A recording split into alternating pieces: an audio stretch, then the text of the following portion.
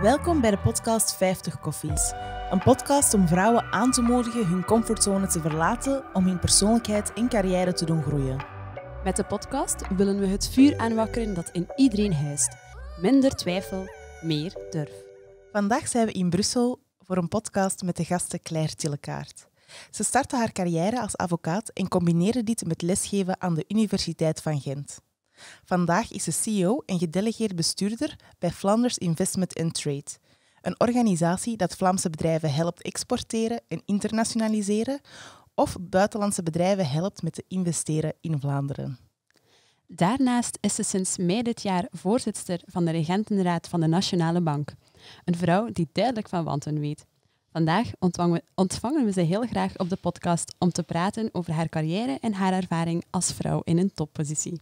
Goedemorgen, Claire. Hallo. Goedemorgen. Heel leuk dat je bij ons op de podcast wil komen. Het is plezant om te doen, hè? dat hopen wij dat dat gaat zijn, zo. Ja, met jonge vrouwen werken altijd plezant. dat vinden wij ook. um, Claire, we hebben altijd één uh, vraag die dat we graag stellen aan onze gasten. Onze podcast heet 50 koffies en daarbij vragen wij jou ook graag of jij koffie drinkt en hoe jij jouw koffie graag drinkt. Ik drink zeker koffie, maar ik heb geleerd om dat te beperken tot één tas per dag. Dat is s'morgens, maar het moet dan wel een goede zijn. Een grote, zwart met één klontje suiker.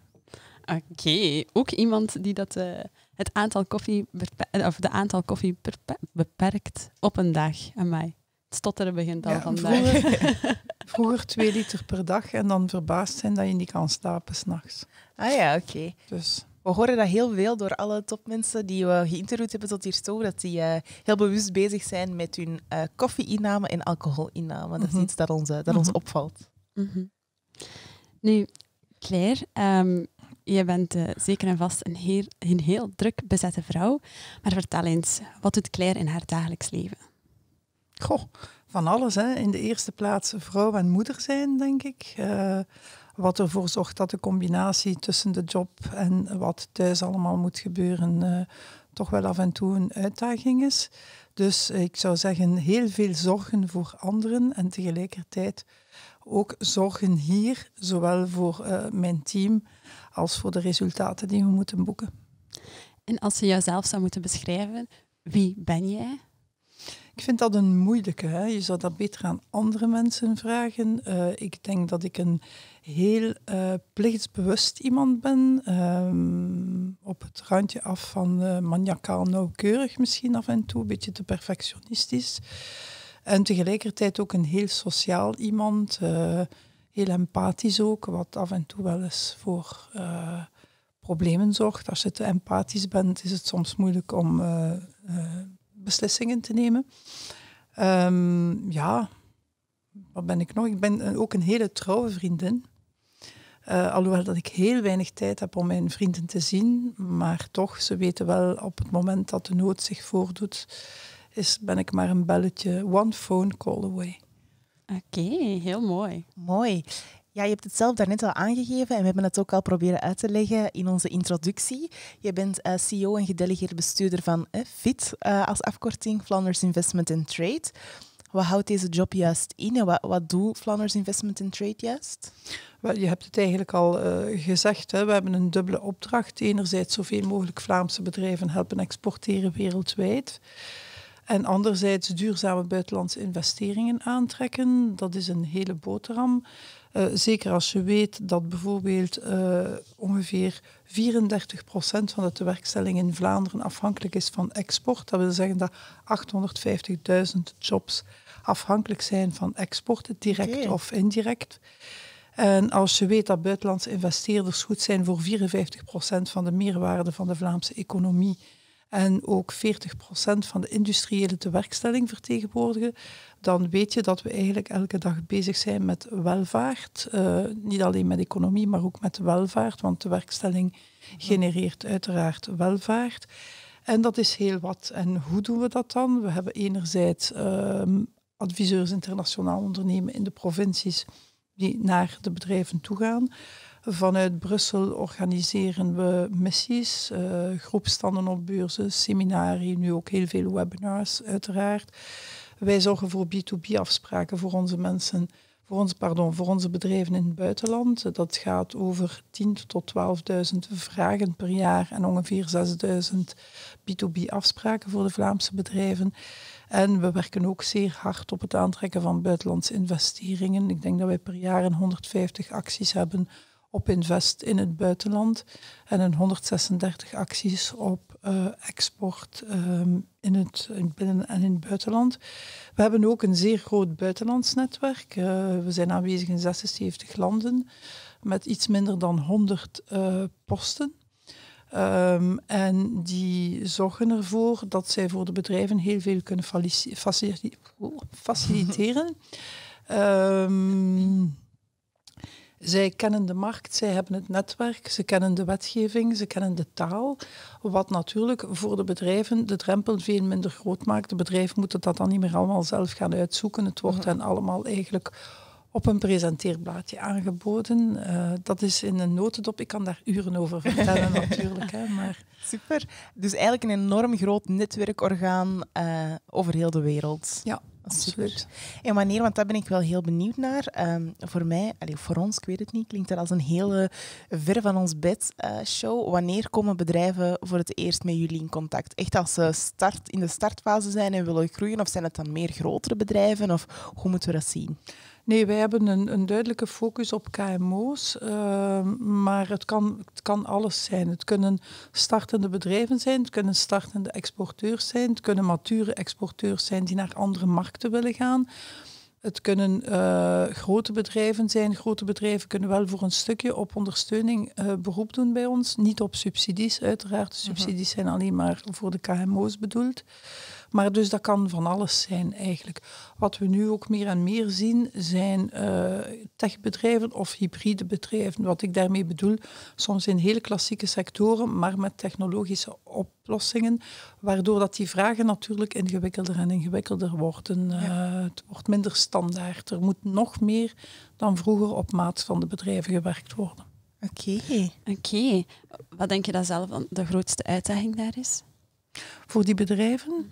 Goh, ik denk, je moet altijd heel goed, uh, uh, je moet eigenlijk een plan maken. Je kan niet zomaar in het wilde weg uh, naar het buitenland. De enigen die daar zullen in slagen zijn de echte born globals. Maar je moet dat heel gestructureerd aanpakken. En daartoe bieden wij eigenlijk een, een leuke tool. Dat noemt de exportmeter. We hebben dat voor producten, we hebben dat voor diensten. En het is een soort um, online tool die we samen met het bedrijf afnemen. En je gaat kijken of het bedrijf klaar is voor export. Dat wil zeggen, is uh, het management, de financiële ruggengraat, bijvoorbeeld stockageruimte, kan je stok prefinancieren enzovoort. Dat gaan we bekijken. Het tweede wat we gaan bekijken is of het product of de, product of de dienst ook kan worden geëxporteerd en zo ja, waar het gemakkelijk naartoe kan waar, en waar je het iets moeilijker gaat hebben, maar waar ook wel kansen zijn. Ons netwerk in het buitenland maakt dan ook marktstudies voor die bedrijven om te zien of bepaalde producten of diensten kans hebben om in een bepaald buitenland uh, succes te hebben. Oké, dat, dat, is een hele boterham en ook al super interessant. Inderdaad, Jana zei het al, voor ons lijkt het misschien wel een beetje ver van ons bed, omdat wij niet denken aan internationaal ondernemen op dit moment nog niet. Op dit moment. um, maar wat is dan eigenlijk de allereerste stap die je onderneemt als je nu met die gedachte zit van ik wil wel internationaal gaan? Is dat dan uh, naar jullie website gaan en daar even kijken Um, nu, het gemakkelijkste, het gemakkelijkste is gewoon van naar je een, een, mailtje te sturen naar je provinciaal kantoor. En dan komt de adviseur internationaal ondernemen bij jou langs op het bureau.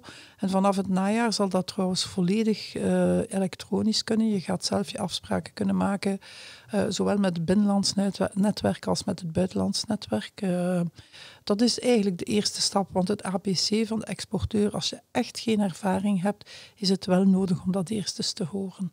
Wat de risico's zijn, wat de valkuilen zijn, wat de opportuniteiten zijn. Um, de wereld is heel erg geglobaliseerd, maar dat wil niet zeggen uh, dat wat goed is in Vlaanderen ook goed is in Afrika mm -hmm. of in Azië. Ja. Maar daar ondersteunen jullie dan iedereen wel in, hè? Ja, absoluut. Heel mooi. En jouw job dan, want je bent CEO en je bent gedelegeerd bestuurder. Um, hoe kunnen wij dat hoe kunnen wij begrijpen wat jij doet op dagdagelijkse basis? Is dat vooral op missies gaan naar het buitenland? Is dat vooral hier alles uh, bekijken, onder controle houden? Wat is, hoe ziet jouw job daaruit binnen het bedrijf? Goh, natuurlijk, bon, ik ben de eindverantwoordelijke, hè, laat ons daarover duidelijk zijn. Maar ik beschouw eigenlijk mijzelf als een deel van het team. Ik denk dat dat iets typisch is voor vrouwelijk leiderschap, dames. Um, maar uh, wat is mijn dagelijkse job? Ik heb heel veel ontmoetingen, heel veel vergaderingen. Uh, ik ontmoet alle, bijvoorbeeld alle buitenlandse ambassadeurs die hier in Brussel op post zijn. Uh, ik probeer samen met het management dit huis te beheren, een aantal strategieën uit te werken. ja, de dagdagelijkse leiding, maar ik zie dat niet als een baasfunctie. Ik zie dat eerder als ik ben, ben, deel van het team. Okay contacten met het kabinet uh, zijn natuurlijk wel voor mij, uh, ook de politieke verantwoordelijkheid uh-huh. is voor mij. Het is heel veel en eigenlijk heel weinig. Soms vraag ik mij af aan het einde van de dag, ik werk heel veel. Ik werk toch gemiddeld een 14 à 16 uur per dag en ik werk ook in het weekend regelmatig. Um, maar dat is niet erg als je met je passie bezig bent. um, maar af en toe vraag ik mij eens af, wat heb ik nu eigenlijk concreet gedaan? Allee, waar zijn de concrete resultaten van wat ik gedaan heb? Je kan dat natuurlijk niet afmeten. Hè. Het is heel belangrijk om een netwerk op te bouwen uh, waarvan dat je weet dat als je een vraag hebt of een probleem hebt, dat je daar ook onmiddellijk beroep kan op doen. Um, ja, duizend dingen tegelijk. Ja. soms te veel. En, uh, en de missies de missies, uh, de welke doe ik? Ik doe de staatsbezoeken met de koning en de koningin. Ik doe de prinselijke missies. Ik doe de missies van de minister-president en soms van een vakminister. Okay. Ik probeer mij daartoe te beperken. En alleen dat al is soms goed voor, hangt af van jaar tot jaar, maar voor 30% van de tijd. Oké, okay, ja, En altijd buiten Europa. Oké. Okay. Ja. Want jetlags dus. Ja, dat is wel best vermoeiend. Ik kan me dat voorstellen, dat uh, ja, dat, dat vermoeiend kan zijn. Zeker 30 procent, dat is ja, per maand. Over hoeveel missies spreken we dan gemiddeld? Dat zal uiteraard Wel, dat hangt af van jaar tot jaar. Wat ik nu weet, bijvoorbeeld nu, 20 was een atypisch jaar. Ik ben nog nooit zo goed uitgeslapen geweest. uh, maar 21 natuurlijk. Uh, wat, wat ik nu zeker al weet, is uh, twee staatsbezoeken, drie prinselijke missies en een paar missies van de minister-president. Dus dan spreken we alleen in de periode van januari, denk ik, tot uh, oktober over acht, negen missies. Oké. Okay. En hoe lang duren die dan meestal? Dat hangt er een beetje van af. Okay. Dat kan twee dagen zijn, dat kan een week zijn. Dat, uh, dat is, daar staat geen vaste regel op. De staatsbezoeken zijn meestal relatief kort. Worden meestal ook beperkt tot twee steden, maar daar is een hele belangrijke economische delegatie en academische delegatie bij betrokken prinselijke missies afhankelijk van de bestemming. Um, in China waren we een week met 650 mensen, om u een idee van de logistiek te geven. Ja. Uh, maar ik denk in Senegal zullen we maar drie, vier dagen zijn met heel okay. wat minder mensen. Dat is helemaal pittig voor een jetlag, zomaar korte missies, nee? Ja, ja. Uh, goh, de vraag is wat het beste is. Hè? Een heel kort verblijf, waardoor dat je sneller recupereert. Want eigenlijk ben je, pas je je volledig aan aan het nieuwe uur van de tijdzone waar je bent na drie dagen. Dus uh, hoe sneller je terugkeert, hoe minder lang het duurt om te recupereren. Oké. Okay. Okay. Je sprak net ook over uh, het netwerk. Als ik je zo hoor vertellen, denk ik ook aan mij. Uw netwerk moet fantastisch groot zijn. en over heel de wereld. Uh, u, u houdt dus niet mis. Ja, het is niet mis, maar ja, dat is, dat is de job. Hè. Uh, nee, ja, ik zeg altijd, uh, want mensen zeggen dan, oh, en je hebt zoveel volgers op Twitter, je hebt zoveel kennissen op LinkedIn enzovoort. wees gerust, de dag dat ik hier stop, dan valt dat allemaal weg. Hè. Ja? Ah, ja, tuurlijk. Ja. Dat is verbonden een... met de functie, hè. dat is niet verbonden met de persoon. En dan zo een paar uitzonderingen uitzonderingen die dat wel verbonden zijn met de persoon of niet? Jawel. Ah, oké. Okay. Jawel, jawel, jawel. Het is ook mijn manier van zijn. Uh, ik, ik, uh, ik werk bijvoorbeeld heel goed samen met mijn uh, Waalse en mijn Brusselse collega. Toevallig ook twee dames. maar ik denk zelfs de dag dat we er niet meer zijn, dat we zullen blijven contact houden en dat we zullen blijven samen okay. gaan eten. Er, zijn, er zijn heel veel mensen met wie dat ik ook een persoonlijke band heb. Maar dat ligt aan, aan de manier waarop ik met mensen omga. Uh, ik vind dat ook belangrijk, uh, want we zijn toch allemaal geen robotten die aan het werken zijn van s morgens tot s avonds en alleen doen wat ze moeten doen. Ik vind in, inter, allee, menselijke interactie vind ik zeer belangrijk. dat is ook zo, denk ik. Allee, dat vinden wij zelf ook uh, de key van, onze, van ons bedrijf. Absoluut. Waar ik heel benieuwd naar ben, um, ja, je bent begonnen als advocaat en je hebt lesgegeven aan uh, de Universiteit van Gent. Hoe kom je als advocaat naar deze rol? Hoe is dat gegaan voor jou? Het is toch wel iets wat anders, neem ik aan. Het is compleet wat anders. Maar er, er tussendoor heb ik wel nog uh, een tijdje juridische dienst geleid van de hogeschool om de Associatie Universiteit Gent en zo um, het, de startblokken te halen. Te helpen toch. Ja, hoe kom je daartoe? Wel, op een bepaald moment, je moet weten, mijn vader jurist, mijn broer jurist, en op een bepaald moment denkte van, oké, ik heb het nu wel gehad. Um, en toevallig zag ik een vacature uh, als nummer twee van dit huis. Uh, en ik dacht van, goh, ik had ooit eens iemand ontmoet die toen voor Export Vlaanderen werkte in Japan. En ik vroeg aan die man, maar wat doet jij hier eigenlijk? En hij begon uit te leggen, dan vond ik dat ongelooflijk boeiend. En ik dacht, maar dat is interessant. Hè? Maar ik heb altijd heel veel belangstelling gehad voor het buitenland, voor vreemde culturen, andere talen. Ik ben een talenfreak ook. En uh, ja, ik heb mij kandidaat gesteld en, en ik kreeg de job. Oké, okay, um, ehm, ja, gewoon uh, de durf om te veranderen. Het was wel een risico. Hè? Ik was toen 49. You never know what happens. Uh, mm -hmm. Maar ik heb er, toen heb ik er misschien wel spijt van gehad, omdat ik in hele moeilijke omstandigheden hier begonnen ben. Maar op vandaag heb ik daar helemaal geen spijt meer van. Ik kan mij veel beter uitleven hier. Alhoewel dat ik de advocatuur zeer graag gedaan heb. Ook weer met mensen bezig zijn. Mhm. Proberen mensen te helpen. Zorgen voor mensen. Uh, maar het was een beetje op. Ja, oké. Kan ik mij helemaal, uh, helemaal inkomen? Ja, in, we hebben er net al eventjes gesproken over jouw missies die je doet. Je hebt het nu aangehaald, 30% eh, van je tijd dat dat ongeveer inneemt.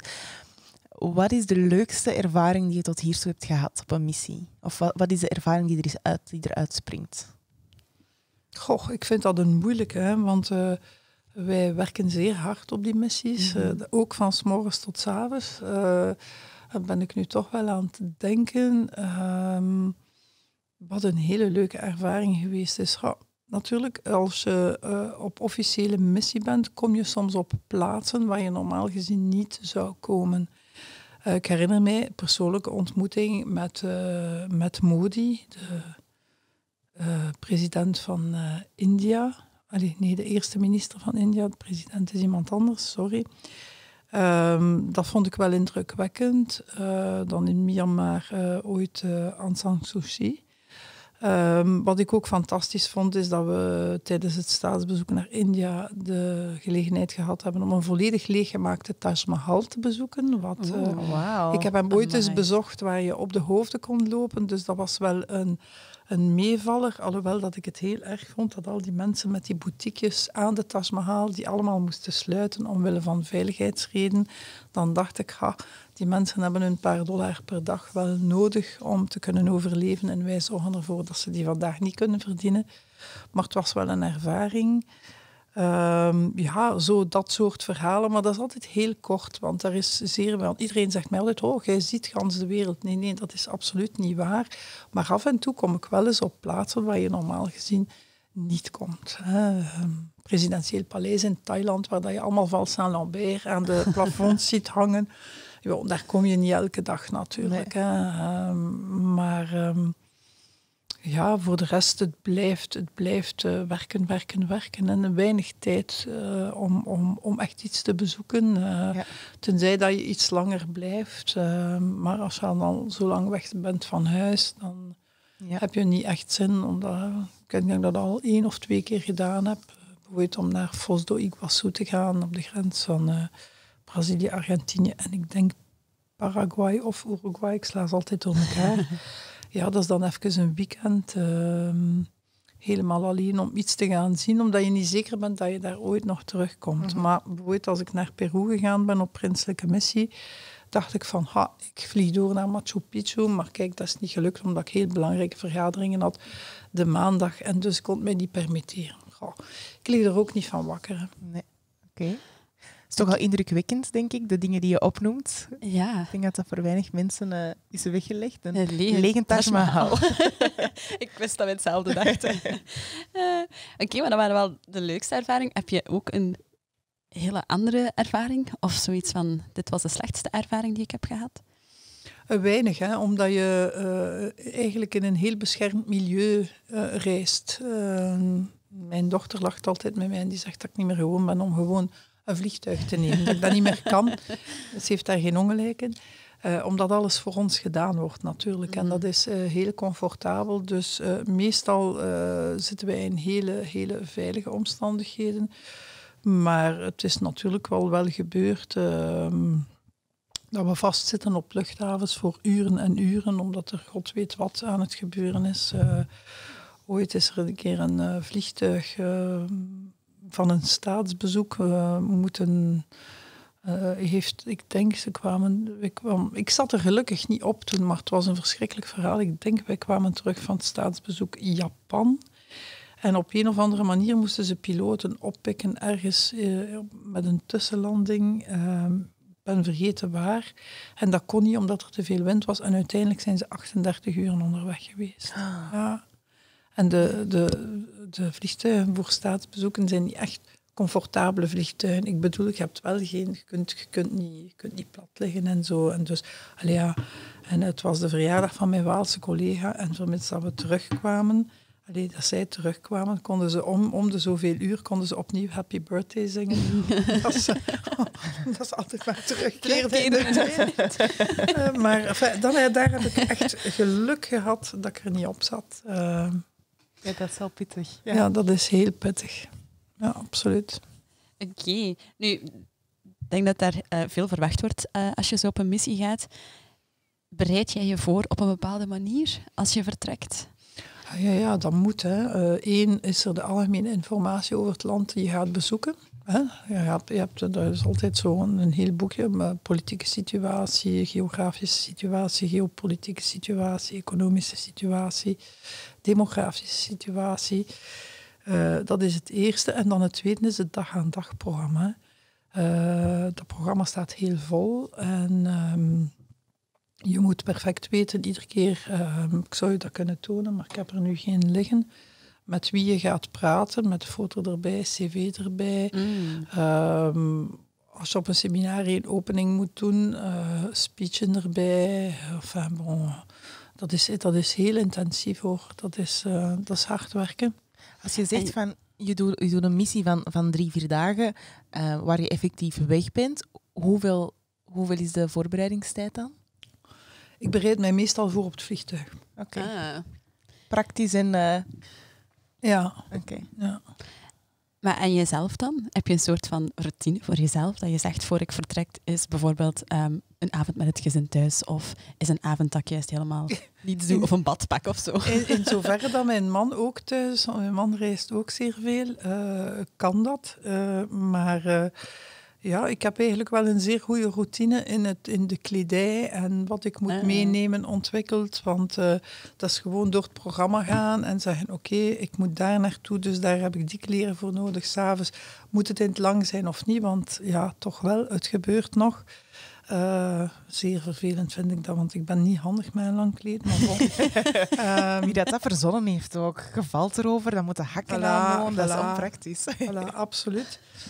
Uh, dus dat is al een eerste stap. En dan, ik heb gewoon mijn toiletzak met alles erin die altijd klaar staat. Ah, dus als ik nu moet vertrekken, dan neem ik gewoon die toiletzak en ik weet dat daar alles in zit. Uh, die routine heb ik wel. En voor de rest ja, hangt het er een beetje van af wie waar is op welk moment. Hè. Dat is, um, ja, mijn man is ook heel veel in het buitenland, dus um, dat hangt er een beetje van af. Dus wat dat betreft geen routine. Oké. Oké, we hebben het ook al even gehad over de leukste en slechtste ervaringen. En is er nu bijvoorbeeld een les die je echt hebt bijgeleerd van op zo'n missie te zijn? Dat je denkt, dat is nu echt iets wat ik bijgeleerd heb, waarvan ik totaal niets afwist? Oh, je leert alle dagen nog dingen bij. Hè. Ik, vind, ik vind het altijd super interessant om, om, om een land beter te leren kennen, om te zien uh, wat het reilen en zeilen is. Uh, ik denk dat ik op die laatste veertien jaar al ongelooflijk veel geleerd heb. Uh, in, in alle richtingen, in positieve zin en negatieve zin. Um, ja, kan daar eigenlijk niks uithalen waarvan ik zeg van, oh, dat is nu echt wel een baanbreker. Het, het belangrijkste is altijd dat je respect moet tonen voor mhm. het land en de cultuur uh, die je bezoekt en dat je je daar ook moet aan aanpassen. En dat is iets waar de Westerlingen uh, moeite mee hebben. Mhm. Ze hebben soms uh, een soort, onterecht vind ik, superioriteitsgevoel, want wij zijn Westerlingen, maar eigenlijk is dat totaal fout en men moet zich altijd voorstellen hoe andere continenten naar die Westerlingen kijken, want onze geschiedenis is nu niet altijd zonder uh, fouten geweest. Ik wil de, de discussie die nu moet niet speciaal oprakelen. Maar dat is er één van. Uh, ook het uh, optreden in bepaalde delen van de wereld uh, met ehm, ja, legermachten enzovoort, aangestuurd door andere, andere landen, NAVO-optredens en andere zorgen ervoor dat er niet noodzakelijk vertrouwen is naar het Westen toe. Mhm.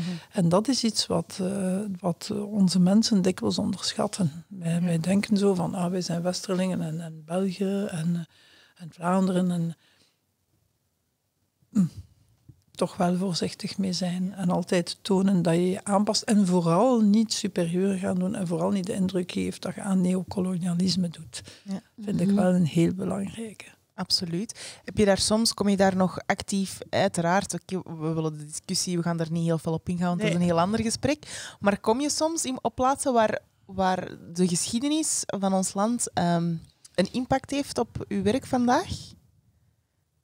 Goh, ik denk niet specifiek de geschiedenis van ons land, maar algemeen. Uh, moet je echt rekening houden met het feit dat alle landen die je bezoekt een autonomie hebben en een politiek stelsel hebben en een culturele achtergrond hebben die misschien niet de jouwe is, maar waar je wel respect voor moet hebben. Mhm. Mhm. En het laatste wat je mag doen, als je bijvoorbeeld, ik zeg maar iets, een technologische oplossing hebt uh, om, om, om gemakkelijk windmolens te maken of water te zuiveren, dan moet je daar een win-win situatie van maken en niet zeggen, en ik ben hier de grote blanke die nu eventjes gaat uitleggen hoe dat je het gaat doen. Mm Dat is een kwestie van juiste attitude. Oké. Super. Heel belangrijk, denk ik, en iets waar wij steeds meer ook uh, ons mee bezighouden. Natuurlijk, um, ja, je hebt het culturele verschil dat, uh, dat er natuurlijk is.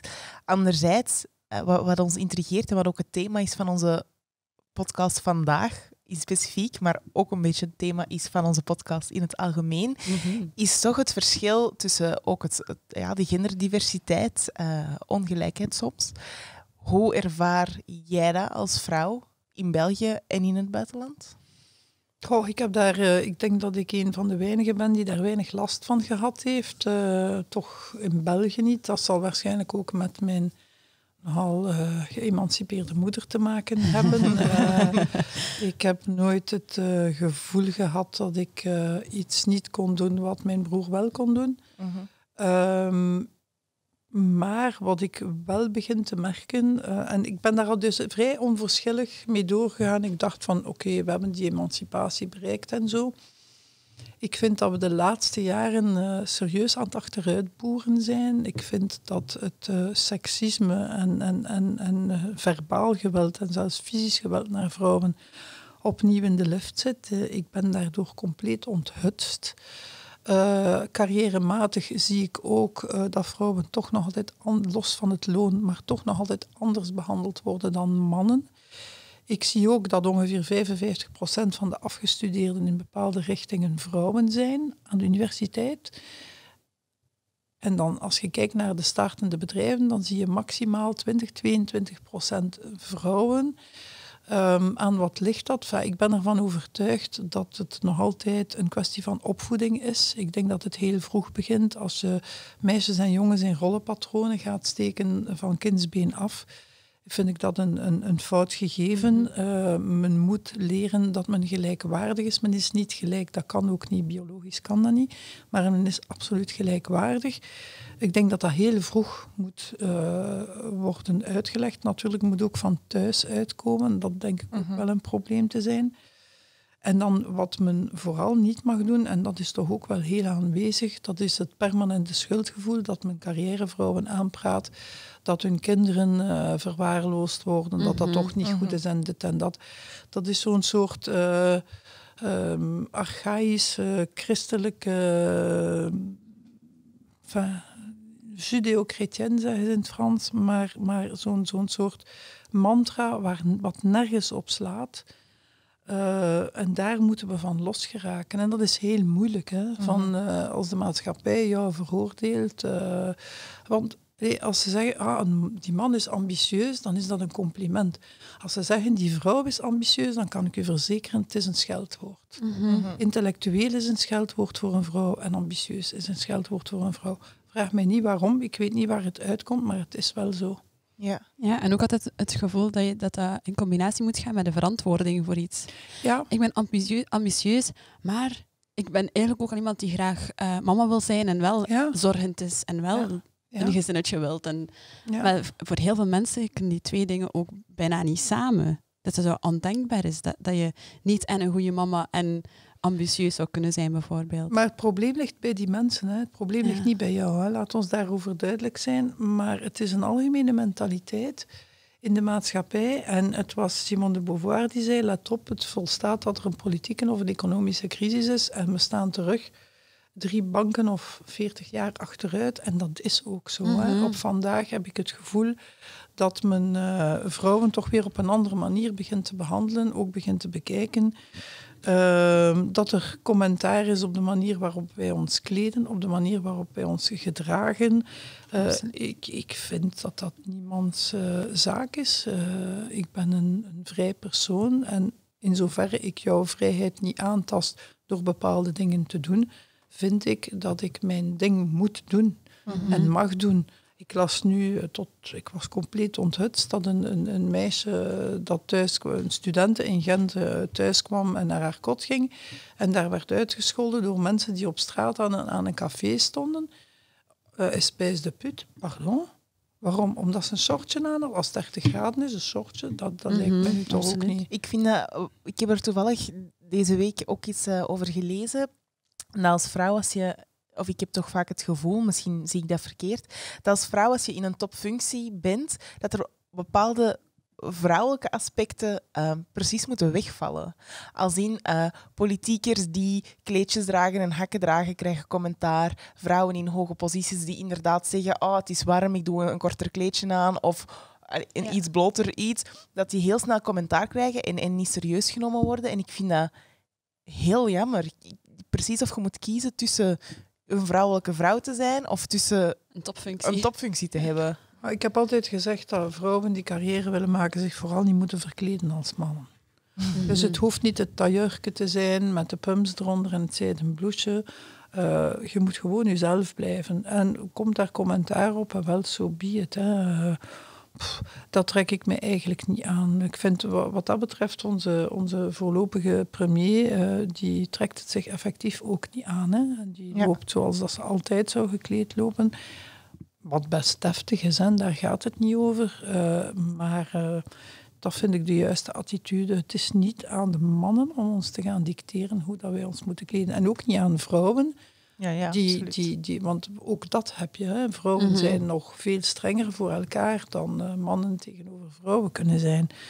Um, ik vind dat iedereen vrij is om zich... Natuurlijk, je moet de, de, de manier waarop je je gedraagt moet wel conform zijn met de functie die je uitoefent. Hè. Uiteraard. Uh, maar voor de rest uh, vind ik dat je, zo, dat, je, dat je jezelf moet zijn. Je moet jezelf kunnen blijven en vrouwelijke uh, attributen, zou ik zeggen, en een vrouwelijk gedrag. Ja goed, als ik uh, probeer van op een missie tussendoor snel naar de kapper te geraken, so what? Mm -hmm. ja. Ik betaal dat uit mijn eigen zak. En als dat nu mijn keuze is, en als ik geen goesting heb om daar een half uur te staan, ik doe dat niet graag. Ik kan dat ook niet goed. Dus uh, dat, ik heb daar geen zin in. En dus probeer ik ergens tussendoor een half uur te vinden om naar een kapper te gaan, met, met soms rare resultaten. Maar goed, bon. Uh, ja, ja dat, dat is mijn goed recht. Hè. Mm -hmm. Absoluut. En als ik nu vandaag met platte schoenen wil lopen en morgen met stiletto's, mijn Ja. keuze. Mhm. Absoluut. Absoluut. Je haalde daarnet aan dat je het gevoel hebt dat in de laatste tijd we juist achteruit aan het gaan zijn in plaats van vooruit. Hoe komt dat, denk je? Ik denk dat dat een, een hele hoop facetten heeft. Ehm, ik vind dat we ehm, in, in het gedachtegoed naar gendergelijkheid, ik ga me niet over de rest van het politieke gedachtegoed uitspreken, maar dat er een fameuze ruk naar rechts is. Ehm, als je op bepaalde websites eh, of Facebookgroepen van bepaalde verenigingen leest wat de, de rol van de vrouw is eh, in de keuken en juist goed om kinderen te maken en zo, dan eh, weet je dat het uit die hoek niet goed komt. Anderzijds is er vanuit de migratie ook wel een, een, een, beetje druk om toch wel het anders te bekijken. En tussen die twee moeten die vrouwen schepperen. Twee, een economische crisis is nooit goed. Eh, want dan ehm, vindt men plots dat vrouwen die werken de job van mannen die zouden kunnen werken afneemt. En, en gaat men teruggrijpen naar het patroon van de man is de kostwinner en de vrouw Ah, blijft Is dat thuis. zo, Mai? Ja, toch wel. Toch wel Ik heb er nog eh, niet bij stilgestaan. Nee. er zijn, er zijn zo'n handsenhoop eh, eh, elementen, maar eh, wat ik vooral denk is dat eh, door het gemak waarmee op sociale media mensen opgehitst worden Mhm. en dat er heel negatief gedaan wordt, ook naar vrouwen toe, door bepaalde groepen, en laat nu die bepaalde groepen degene zijn die het meest actief zijn op bepaalde Mhm. sociale media, ga je een ganse jonge generatie ook ervan overtuigen dat vrouwen minderwaardige wezens zijn. En dan ga je die gevolgen krijgen. Ik denk dat we nog heel wat gevechten gaan moeten leveren hoor, daartegen. Ja, heel wat. eh, We hadden, eh, vorige week hadden we eh Dirk Luiten op de podcast. Hij is mee in het bestuur van Women on Board om meer vrouwen in raden van bestuur te krijgen. En hij zei ook van iedereen heeft een soort algemeen, of veel mensen, ik zal niet veralgemenen, hebben het idee van we hebben de strijd gestreden al voor gendergelijkheid. Hij zei, maar we zijn net begonnen. Als we kijken naar, naar, naar de vooruitgang, van er waren 4% van de Mhm. vrouwen in raden van besturen, we zijn gegaan naar 5%. Oké, vooruitgang, maar dat is miniem en er is nog een hele grote strijd te strijden. En dat we er vandaag, we zijn ons daar niet meer van bewust, omdat het de, de ongelijkheid zich niet meer uit in dagdagelijkse dingen. Ehm, het is niet dat we als vrouw niet mogen stemmen, niet mogen gaan werken, niet, niet mogen solliciteren voor specifieke functies. Het zit veel meer geroet in onze cultuur en in onze achtergrond en onze geschiedenis. En dat is veel moeilijker om, om daar een verandering in te brengen. Absoluut. En ik vind het dan heel interessant. We zijn daar heel hard mee bezig, eh Nadia en ik. Ik zeg het, dat is het doel van onze podcast voor Bold Women in Business. Hoe, wat kunnen wij vandaag als vrouw doen? Of hoe kunnen wij daarvan bewuster zijn? Of hoe kunnen mannen daarvan bewuster zijn? En daar beter mee omgaan?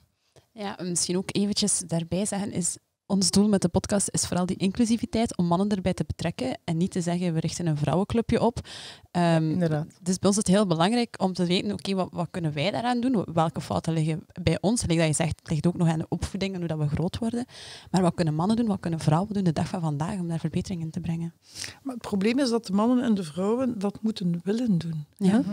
Als dat in jouw ehm, opvoeding en in jouw manier om naar de maatschappij te kijken ingebakken zit, ga je daar nog weinig beweging in krijgen. Het zal vooral van de jongere generaties afhangen. Wat ik wel systematisch doe, is als ik merk dat er ongepast gedrag is, en dat kan gewoon eh, een, ehm, een grapje zijn wat ik ongepast vind, eh, tot eh, lastigvallen van een of andere persoon. Ik zal daar altijd op tussenkomen.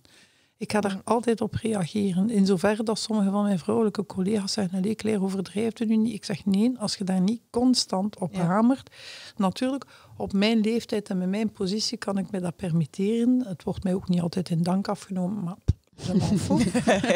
Eh, maar, maar het, is soms, allee, het is soms heel moeilijk om op ongepast gedrag eh, te reageren. Ik had dit weekend nog met, met, met vrienden een gigantische discussie over de ganse MeToo-beweging. Eh, ja, mannen kunnen niks meer en dit en dat. Daar gaat het niet over.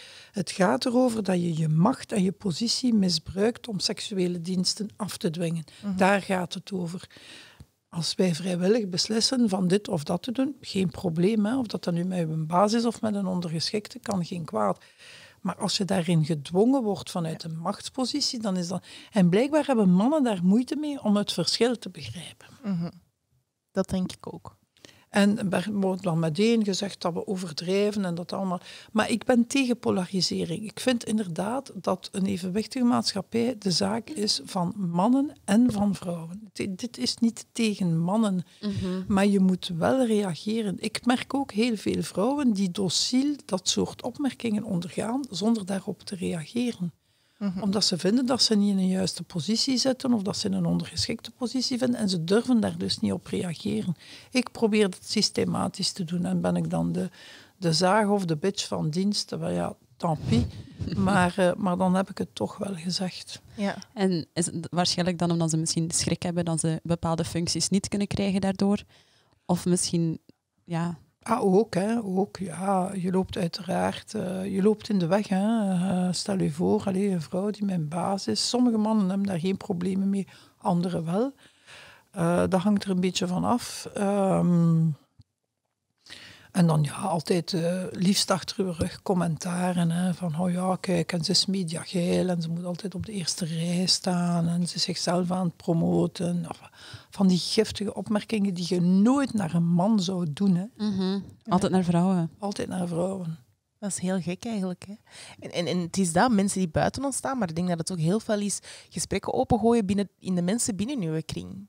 En binnen uw, binnen uw gezin. We hebben bij Elke Jurissen, die eh, Fierce Ladies heeft. En, eh, ja, ook. Goeie vriendin. Is het zo? Ah, Ah, Zij is ook op de podcast geweest. supervrouw ook. Ja, fantastisch. hè. Ehm, zij zei ook van ja, de partner die je, die je kiest en, en je gezin waarin je opgroeit en je kinderen gaat grootbrengen is van cruciaal belang. In mijn eigen ervaring, mijn man komt uit een gezin waar inderdaad de moeder is thuisgebleven om de kinderen groot te brengen en de vader eh, ging werken. Toen wij net samen waren, dus de verwachtingen waren exact dat. En, en dat, dat heeft wel, hij is heel gemakkelijk en nu weet hem heel goed dat hij dat niet moet verwachten.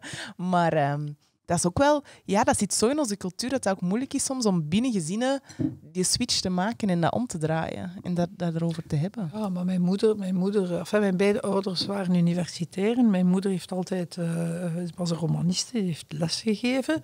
En die vond het een echte schande dat als ik kinderen had, dat ik niet thuis gebleven ben. Die, was, die vond dat ik een zeer slechte moeder was. Oké, Was die van schuldgevoel? ja, ja, inderdaad. Ja. Amai. Eh, maar eh, ik heb me dat eigenlijk nooit aangetrokken. Ik had ook die luxe niet, hè, want eh, mijn oudste was zes en mijn jongste was zes maanden. Toen mijn man stierf, ja, bedoel, wie ging er zorgen dat er inkomen was? Ja, absoluut. Ja. Bedoel, enfin, ik heb altijd gewerkt, maar stel nu voor dat ik niet zou gewerkt hebben, de hele tijd aan een stuk. Wat ging ik dan gedaan hebben? Mhm. absoluut. Nee, zeker. Ik merk dat ook enorm. Ik ben single en ik leer af en toe mannen kennen. Ehm, af en toe is wat veel gezegd. Maar eh, ik merk ook dat dat allee, heel vaak een struikelblok is. Het feit dat je zelfstandig bent, ambitieus bent. Ehm, en ik voel dat ik daar altijd meteen een verantwoording voor zou moeten Ja. afleggen. En dat ik, ja, ja, het is heel raar. Dat je om, allee, ik besef ook dat dat nu al heel vaak zo het laatste ding is dat ik zou zeggen. Dat ik ambitieus ben en dat ik daar volledig voor zou gaan. Omdat ik het gevoel heb dat ik me daar ve- veel meer voor moet verantwoorden dan dat Ah, ik zou willen. Vanaf het moment dat je moet verantwoorden, exit de man. Hè, Ja, klopt. eh, Volledig, Je maar gaat, je je, gaat, je, gaat het niet, je gaat niet gans je leven daartegen vechten. toch? Nee, nee, nee, zeker. Ja, absoluut. Dus, maar ja, ik voel dat dat heel erg aanwezig is, dat dat niet ja, positief ja. is. Ik voel het niet aan. Ik ben dan zo super trots of blij met wat ik doe. En meestal, als je dat dan vertelt of zo of zegt, dan merk ik dat dat heel vaak negatief binnenkomt eh, bij mensen. Dus je moet je altijd omringen door de juiste mensen. Ja, maar dat is niet evident. Hè? Het is niet evident omdat de mindset van de meeste mannen misschien daar niet eh, Mhm. klaar voor is. Dat is ook opvoeding voor een stuk. Ja. En eh, eer dat je dat ombuigt, de jouwe is, is blijkbaar kneedbaar. Eh, maar ik merk soms nog zelfs eh, bij mij thuis, hè, als ik tegen eh, mijn man soms zeg van ja, maar dat of dat, dat is niet oké. En dan bekijkt hij mij zo en dan denkt hij zo van, waar heb je het nu eigenlijk over? En als ik dat dan uitleg, dan zegt hij ja, eigenlijk heb je gelijk. Maar op het moment, ja, Mhm. beseft hij dat ook niet. Hè? Nee. En denk je dat het misschien een averechts effect heeft? Het feit dat vrouwen ehm, in, in sommige, voor sommigen is dat wel vrijwillig. Hè? Thuisblijven voor de kinderen, dat is niet altijd... Sommige vrouwen willen dat ook graag doen. Ja, veel vrouwen. maar denk je juist dat dat voedt aan het... Dat we daar soms meer kwaad mee doen dan goed mee doen, juist om thuis te blijven? Nee, dat denk ik niet. Ik denk dat elke vrouw en elke man trouwens de keuze moet krijgen om te kiezen. Allee, om, om, om, om te zeggen van oké, nu wil ik dit prioritiseren of nu wil ik dat prioritiseren. Ik denk dat dat geen slechte boodschap is. Uh, uh, je moet vrij zijn om te doen wat dat je wil doen. Mm -hmm. Alleen natuurlijk uh, conforteer je daardoor een bepaald maatschappijbeeld. Je bevestigt nog mhm. eens van oké, okay, dit is het normaal en alle anderen zijn abnormaal. Maar ik denk dat we toch ook zeer ver zijn van de tijd waarin alleen de man kost wel één inkomen voldoende is om mm kostwinner te zijn. Ja, dat ik denk dat dat vandaag bijna... Allee, het hangt natuurlijk af van de job en het inkomen van de man, maar allee, of van de persoon die werkt, dat is vandaag bijna niet meer haalbaar voor nee. veel gezinnen. Nee, nee, ik denk dat ook. Ik denk dat ook. En moet je dan je ambities aan de kapstok hangen? Als je dat zelf wil, oké. Okay. Maar weet natuurlijk, als je x jaar tijd blijft, dat je met een serieuze achterstand in je carrière opnieuw -huh. begint. Mm -hmm. Mm -hmm. Absoluut. Dat is, uh... het is misschien ook aan, aan de mama's of aan de papa's om dat ook meer aan te geven als zij het ook zouden willen. Omdat de dag van vandaag, denk ik, heel veel mannen heel, allee, veel minder durven uitspreken dan ze ook iets meer ouder willen zijn of papa willen zijn. En dan ze ook wel het gevoel hebben dat die druk hoog ligt om um, ambitieus te zijn. Maar ik zie er toch bij de jongere mensen met kleine kinderen ongelooflijk veel inzet ook van de papa hoor. Die ook okay. ouderschapsverlof vraagt. Zij verdelen alle taken. Uh, ik vind, daar zit wel een evolutie in. Dat is bij mijn generatie absoluut niet het geval, maar dat is bij de jongere generatie ja. toch wel zo. Politiek natuurlijk zit er ook een onverdeeldheid over het, het ja, moederschapsverlof versus het vaderschapsverlof is, is een groot verschil. Mm -hmm. Denk je dat het belangrijk is om dat aan te pakken? Uh, nee, natuurlijk. Uh, uh, het moederschapsverlof is vooral en in de eerste plaats een fysisch verlof. Hè. als je een kind op de wereld zet, dan heb je daar toch wel wat fysische gevolgen van. Ik denk dat dat heel weinig te maken heeft met de moeder moet voor het kind zo. Dat heeft vooral te maken met de moeder moet recupereren. Want ik kan u verzekeren, enfin, uh, ik vond dat toch geen, geen walk in the park. Ook niet qua, qua die hormonale veranderingen achteraf terug. het feit dat je toch wel iets meer opgeblazen bent dan dat je gewoon bent. En andere verhalen.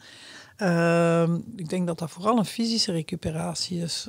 het vaderschapsverlof, ik weet niet juist meer hoeveel dat, dat op dit moment is. Nu natuurlijk, ik weet dat niet goed, omdat dat binnen de overheidsdiensten is dat een andere regeling, denk mm. ik, dan gewoon in, uh, in de privé. Is het tien, tien werkdagen? Dagen? Ja, tien dagen. Maar hier kunnen ze ook ouderschapsverlof opvragen ja. voor langere periodes, tot mm. wanneer het kind uh, twee jaar is of zoiets, okay. denk ik. Okay. En dat gebeurt hier ook echt waar. Dat is uh, heel regelmatig het geval. Ja, ja maar dat is ook met toestemming van uh, uw werkgever zelf, denk ik. Klopt dat? Ja. Dus uw werkgever kan ja. wel um, zeggen dat hij dat niet wil dat je dat opneemt, ja. hè? Ja. Dus dat merk ik bijvoorbeeld wel. Mijn zus heeft zelf een um, is teambegeleider um, op een bedrijf. Dus zij heeft een leidinggevende functie eigenlijk. En die is mama geworden. En die heeft eigenlijk doorgekregen dat hij haar ouderschapsverlof niet mocht opnemen. Dus um, dat is geweigerd geweest, tenzij dat ze zou zakken in, van functie. En dus eigenlijk haar functie voor die periode overlaat aan iemand anders. En zij zelf een mindere functie of een lagere functie inneemt als zij die ouderschapsverlof zou willen innemen. En ik denk dat zo structureel... Maar dat is niet het zwangerschapsverlof. Dat is het ouderschapsverlof dat volgt op het... Ja. Oké. Okay. Ja, dat is het ouderschapsverlof. Dus ja, zo'n situatie is er... Typisch. Ja, dat is heel typisch. Hè. En dat is... En je kunt dat niet bewijzen. Nee.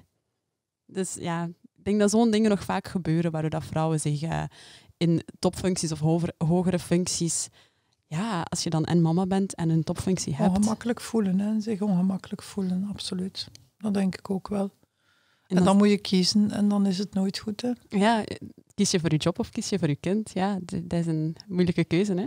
Zeker als je allebei het schuldgevoel al terug achter het hoekje komt kijken. Ja, absoluut. absoluut. Zeker, zeker. Ja. Hoe, uh, hoe ervaar jij dat als moeder in zo'n topjob? Goh, bij mij natuurlijk op het moment dat ik deze job deed, waren de kinderen al groot.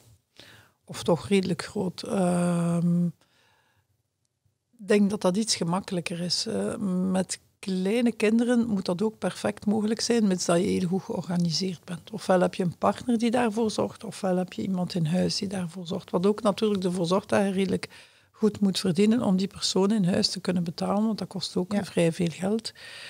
Ehm, dus voor mij was dat niet zo'n probleem. Hè? Omdat ik op een verder stadium al in mijn leven was. Met kleine kinderen zou ik dat ook wel opgelost hebben. Zoals ik het gedaan heb toen ik nog advocaat was trouwens. Ik had altijd uh, een au meisje in huis uh, die voor de kinderen zorgde. En ik heb daar eigenlijk uh, geen grote problemen mee gehad. Ook wel een beetje een les in loslaten dan? Of? Ja, noodzakelijkerwijze. Hè? Noodzakelijkerwijze. Maar je, je moet toch wel nog altijd de controle behouden. Hè? Zorgen dat je wel weet wat er aan de hand is. Mm voordat je het weet, zeker met pubers, uh, ja, loopt het uit de hand. Hè? Ja. Denk je dat er een bepaalde... Allez, of wat, wat was het moeilijkste als mama zijnde in zo'n topfunctie dan? De grootste struggle? Of misschien het grootste schuldgevoel dat je had? Goh, ik heb een keer of twee was ik er niet voor een verjaardag. Mm. Van de ene en van de andere. En dat vind ik vervelend. Want, uh, en ook een paar keer dat ik er niet was voor Moederkesdag, wat dat dan voor hen toch wel heel erg was, uh, dat ze mhm. dat dan niet konden. Uh, maar ze zijn het ook gewoon geraakt hoor. De eerste keer was dat zo nogal dramatisch, maar ik denk dat dat nu. Ja, nee. Ik denk dat dat, niet meer, dat dat niet meer speelt. Maar op het moment dat dat gebeurt, de eerste keer, ja, dan vinden dat niet leuk. Hè? Want je zegt gewoon van uh, de taart en hup, uh, feestje. Maar um, dat valt wel mee. Oké, denk je dat het ook zijn voordelen heeft om als moeder aan de top te staan? Zeker, hè? ik denk dat het uh, alleen al als rolmodel naar heel veel vrouwen en in, in de eerste plaats naar je eigen kinderen zeer belangrijk is om te tonen dat het kan en dat het eigenlijk volledig normaal is. Mhm. Dus dat vind ik er heel goed aan. Ehm, dus, ehm, en ook het feit dat ze van heel vroeg, uh, van heel jongs af aan, eigenlijk leren om zelfredzaam te zijn. Ik, ik denk dat je veel zelfstandiger kinderen uh, kweekt, als mhm. ik dat zo mag zeggen. Uh, als je niet constant alle, voor alles een handje vasthoudt en, uh, en, en te veel in een dienende rol uh, zit.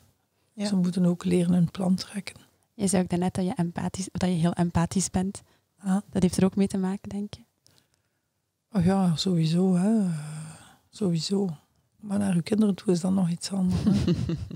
en is het andersom zo? Heb je door kinderen te krijgen, ben je op een andere manier beginnen kijken naar je job of, of op een andere manier beginnen reageren binnen je job? Dat denk ik niet. Dat denk ik niet. Ik weet nog wel, uh, toen ik uh, mijn, mijn eerste kind had, ik was toen nog advocaat, en uh, na een week wou ik terug naar mijn kantoor gaan. Ja, zo is dat bij zelfstandigen. en, en, en plots dacht ik van, oh joei, maar dat gaat wel niet, hè, want ik kan dat kind hier niet achterlaten. ik heb dan bon, nagedacht. En ik heb dan een Hans uh, in de bibliotheek bij ons op kantoor een uh, volledige pouponnière ingericht. en uh, als ik consultaties had, dan was er wel iemand anders die een papfles ging geven. Dus dat was ook... Oké, dus je hebt echt je heb, ja, ja, ja, ja, ja. En dat, dat was zo het moment waarop ik dacht zo van, oei, mijn vrijheid. Zo, weet je wel, ja.